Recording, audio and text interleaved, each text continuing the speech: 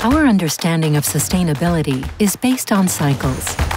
We create sustainable solutions for hygiene, workwear, clean rooms, and fire safety.